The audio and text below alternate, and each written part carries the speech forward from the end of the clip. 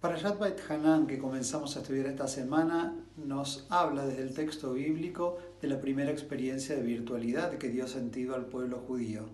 Moshe, que sabe que Dios no le va a permitir entrar a la tierra prometida, recibe la orden de subir al monte, mirar al norte, al sur, al este y al oeste, y desde allí ver la tierra en la que no va a entrar.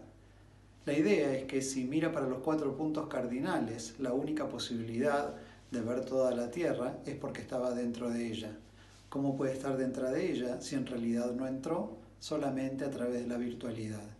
Durante milenios el pueblo judío aprendió a ver de forma virtual y trasladarse mágicamente hasta Jerusalén. Ojalá que aprendamos de esa experiencia de milenios para ayudarnos a transportarnos a realidades diferentes y así soñar con nuestras tierras prometidas.